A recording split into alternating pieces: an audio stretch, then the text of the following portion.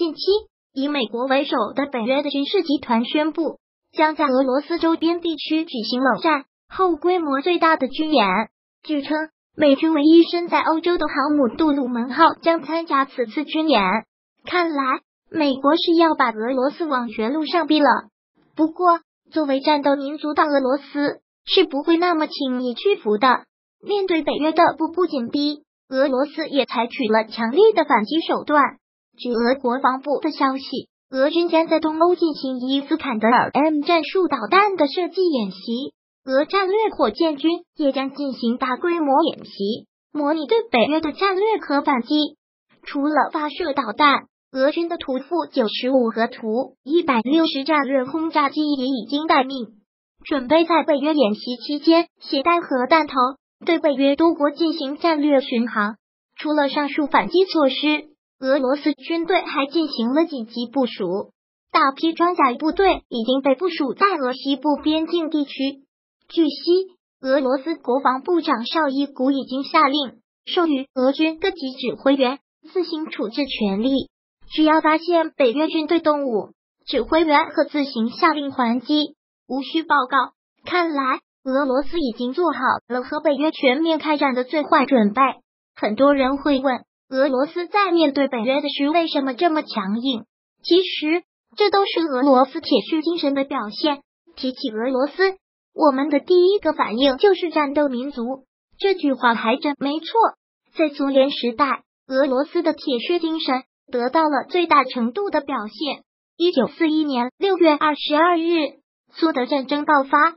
起初，德军进展顺利，三个月内兵临莫斯科城下。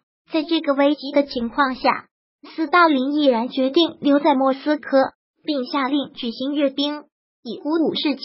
十一月七日，苏联在红场举行阅兵仪式，三万红军代弹接受检阅，随后直接开赴前线。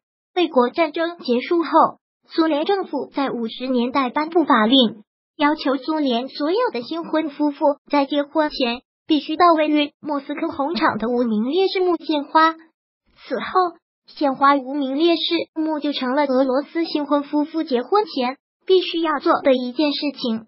每年的胜利日，苏联政府都会举行向无名烈士墓献花仪式，以表示对英雄的纪念。除了每年五月九日的无名烈士墓献花仪式，苏联政府还在五月九日举行阅兵，纪念卫国战争的胜利。一九六五年五月九日，苏联在红场举行首次胜利日阅兵。此后，胜利日阅兵和十月革命纪念日阅兵一样，成为苏联红场阅兵的重要部分。一九六五年、一九八五年、一九九零年，苏联一共举行了三次纪念卫国战争胜利的红场阅兵式。苏联解体后，五月九日的胜利日阅兵曾中断一段时间。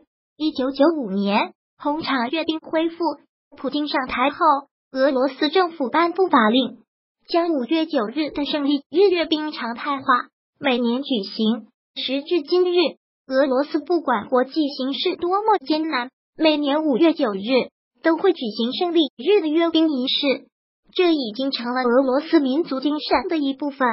二零一八年二月，一架俄军苏 -25 二十五战机在伊德利卜被叛军击落。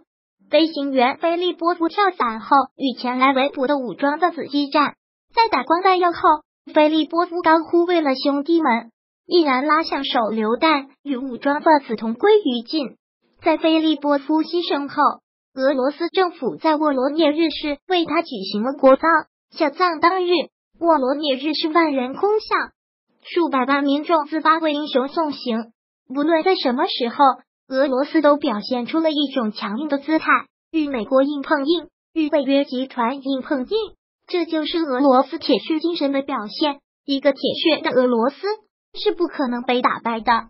如果喜欢本视频，请分享并订阅本频道，别忘了按赞哦。